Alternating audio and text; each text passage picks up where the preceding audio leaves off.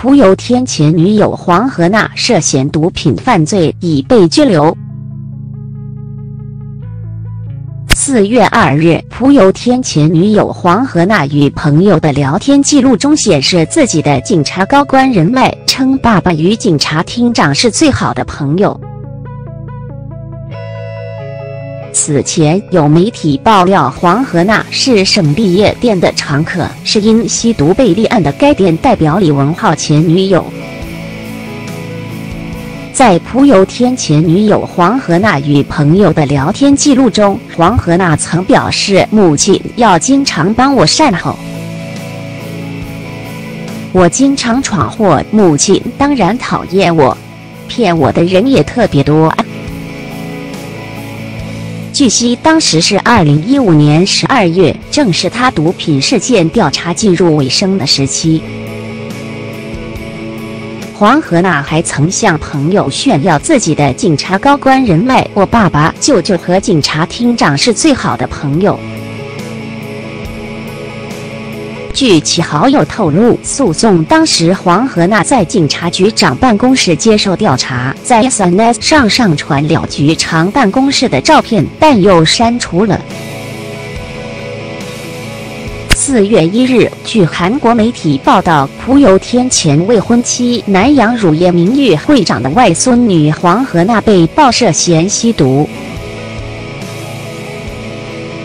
据悉，二零一六年大学生赵某因涉嫌买入出手机摄入冰毒的嫌疑被判刑。赵某的判决书中显示，黄荷娜曾一同吸毒。据判决书内容中显示，黄荷娜曾在2015年给赵某装有0.5克冰毒的塑料袋，两人一同吸毒。韩国法院虽判断黄荷娜是赵某吸毒案的共犯，但黄荷娜却并未受到任何惩罚。对此，南洋乳业方面拒绝回应，表示并不是公司方面需要回应的事件。四月一日，韩国南洋乳业方面就该公司创始人外孙女黄荷娜涉嫌吸毒一事公开回应，宣布称与她划清界限。公司方面表示，黄荷娜与公司经营无关，黄荷娜一家谁也没有从事与公司相关的工作或持有股份。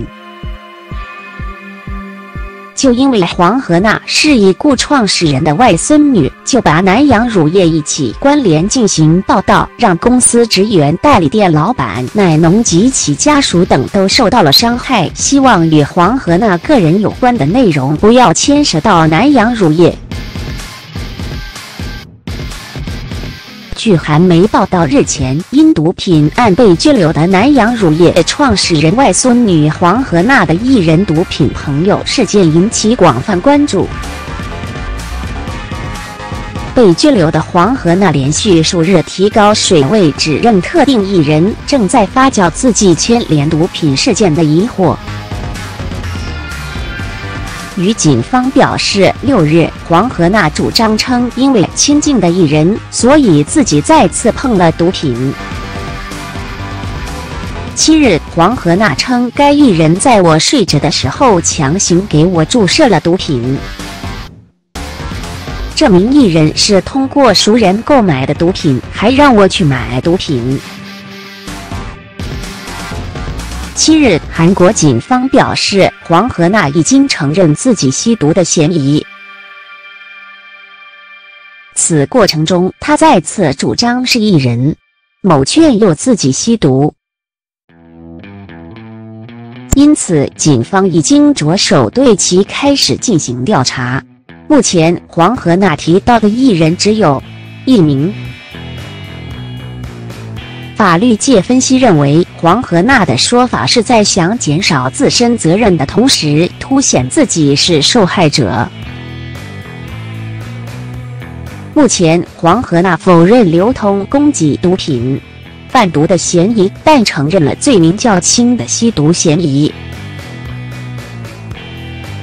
黄河娜涉嫌于二零一五年五月、六月和九月吸食毒品，去年四月非法使用了含有依赖性氯硝安定成分的两种药品。去年十月，警方就相关嫌疑对黄河娜展开了调查。